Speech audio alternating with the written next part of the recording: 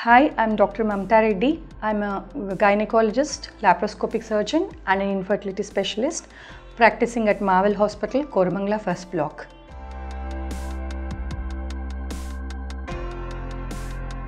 Uh, progesterone creams are uh, used in higher uh, doses, uh, especially in ART cycles, that is more common in IVF cycles.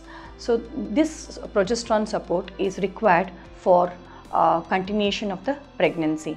These higher doses of progesterones are non, not known to cause any major lethal side effects to the baby or to the mother, except that they may cause little minor side effects like a headache, migrainous attacks, soreness in the breast, and uh, uh, recurrent vulval and vaginal fungal infections uh, are common with the progesterone creams. Apart from that, they are not known to cause any major side effects.